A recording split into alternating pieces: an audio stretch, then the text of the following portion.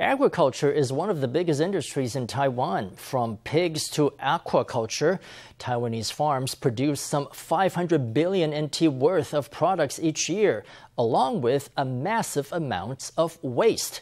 As part of a new global movement called the circular economy, some enterprising Taiwanese are finding ways to turn trash into treasure, like electricity for farms, building supplies, and even surgical sutures.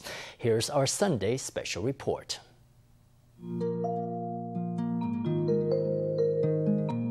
This is the ocean just outside of Chiayi County's Dongshih Township. On the ocean's surface, as far as the eye can see, oyster cages are floating about.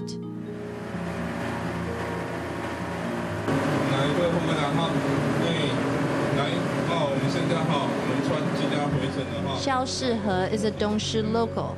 More than 10 years ago, to supplement his income, he started a business giving boat tours of the local oyster industry.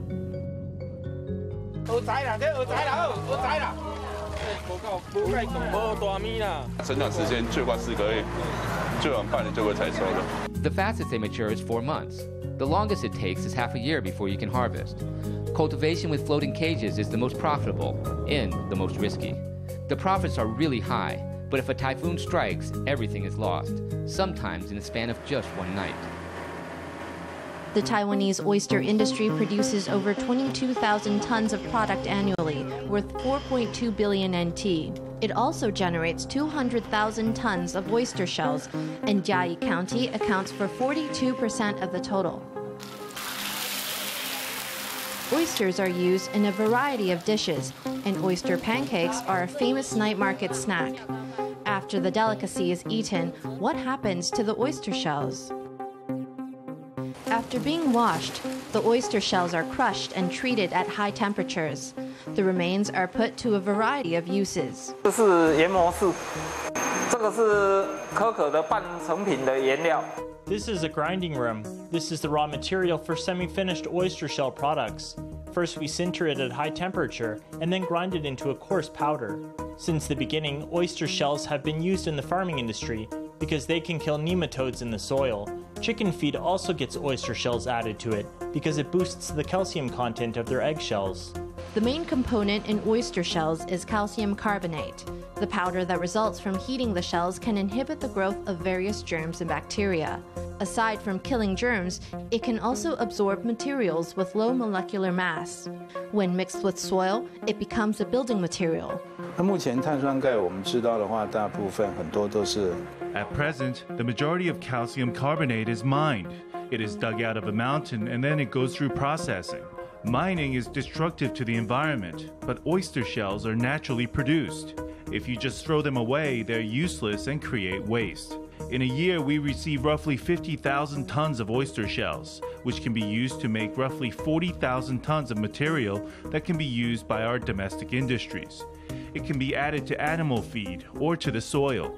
It can be used in building materials or in regular paint. It can be put to industrial use. Oyster shell can be used in building materials and the construction industry. It can also be put to work in the textile industry by taking shell powder and further grinding it down to the nanometer level. The fine dust is combined with recycled plastic bottles, spun into thread, and used as material for cloth. 消臭、抗菌。 it's deodorizing, antibacterial, resistant to static electricity, and quick drying. If you put it in your hands, it'll give off heat. Using the special characteristics of oyster shells, it's called low heat transfer. It will stop the rapid loss of body heat. In the future, this cotton will replace down as the most premium textile product. 为什么日本会把那个牡蛎壳 Why would Japan use oyster shells to make beauty products and health food products? Its added value is high. Take just one kilogram of it. If you make food products or cosmetics with it, one kilogram will fetch at least 2,000 to 3,000 NT. Oyster shells are a waste product, but in a circular economy supported by private companies, the shells are turned into something useful and valuable.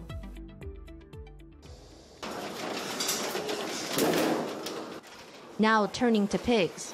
Pigs are a high value agricultural product, but their manure is a pollutant if not properly treated. I know, 4, We're in Pingtung at the home of Su Peng. His family has raised pigs for more than 60 years. How do they deal with animal waste?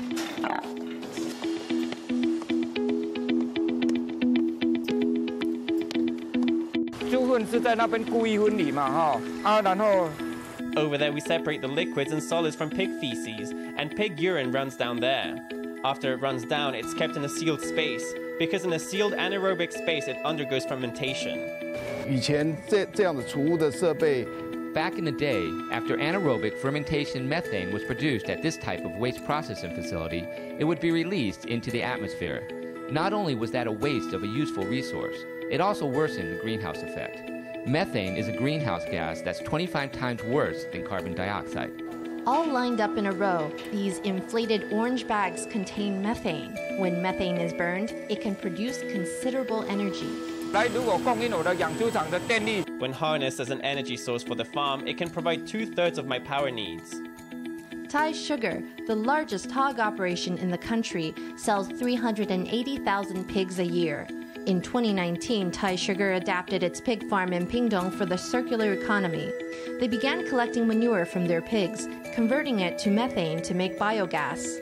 They found a way to increase the energy produced by mixing in other agricultural waste and fermenting the blend. The neighboring factories in Pingtung, such as food product factories, produce waste like pineapple husks, orange peels, tangerine peels, and distillers' grains.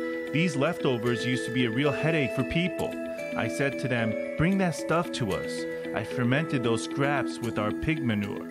The resulting methane is even better. It's more abundant, so it works out great for those people as well as for me.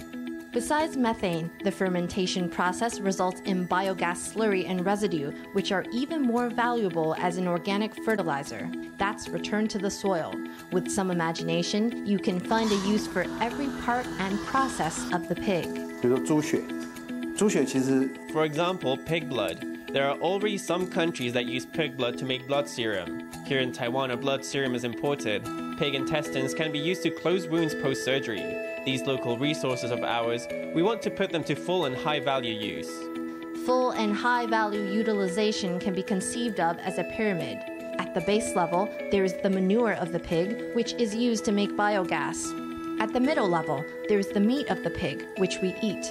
At the top level, there's the pig products we can put to medical uses, like manufacturing blood serum and closing surgical wounds. Pig collagen, placenta, and even the heart valves can all be used by the human body. Bring Taiwanese biotechnology businesses into the circular economy. Make them realize that there are a lot of resources available locally. There's a lot that can be used right here. Overall, this would reduce our reliance on imports. We would reduce our imports. We would create business opportunities and many more employment opportunities.